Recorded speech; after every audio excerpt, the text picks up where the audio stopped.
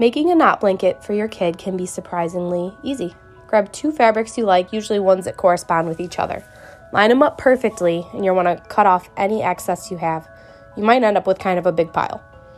Now we're going to cut the corners off. Go in and mark 5 inches and cut a little slit.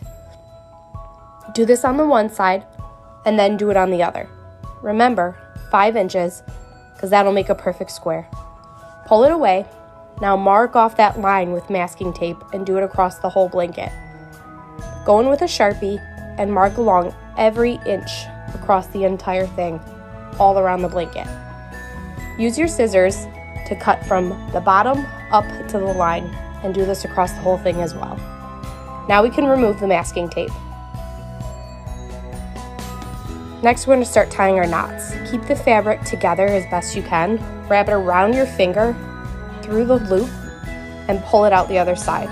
While you do this, push up on the knot and pull out the fabric. It'll keep it nice and tight and clean looking. This part takes a while.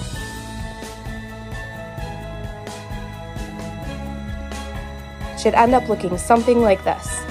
And there you have it. That's it. A knot blanket. Your kid will love it.